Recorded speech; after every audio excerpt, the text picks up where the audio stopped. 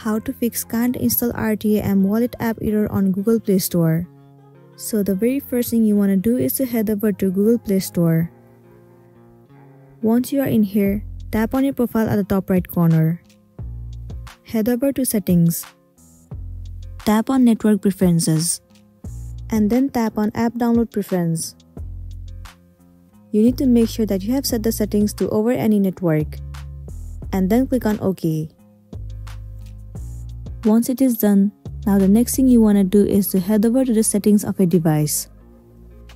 Move into apps. Search for the Google Play Store and then head over to it.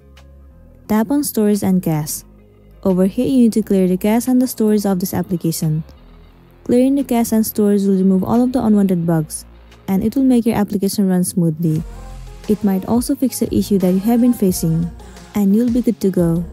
So that's it and this is simply how you can fix can't download RTA M wallet error on Google Play Store. I really hope this video is going to be helpful for you. Thank you for staying with us till the end.